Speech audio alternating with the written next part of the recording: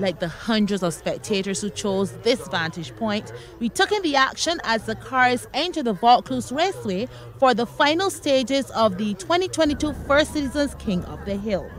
The drivers enjoyed both dry and wet conditions, but either way, the action was like fire, as expected. Four runs, two before lunch and two after. That's all multiple drivers registering the fastest times. But when the dust has settled, this was your top five.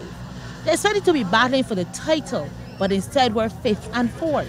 Rob Swan and co-driver Darren Garrod, seen here in their Subaru Impreza WRC S12B, they finished in fifth. The man who most could hope of winning was shouldered Dane Skeete and Tyler Mayhew by his side in fourth, 2 minutes 22.20 seconds. He too behind the wheel of a Subaru Impreza WRC S12. The last name might ring a bell. Bird.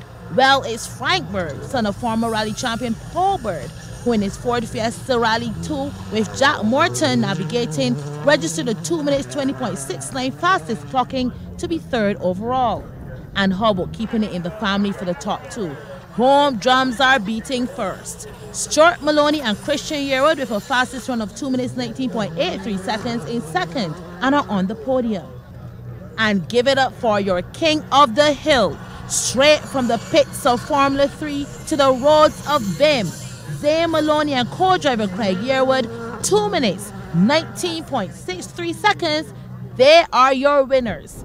And if today's anything to go by, hold on to your seats. Next weekend, Sol Rally Barbados will be paced like fire.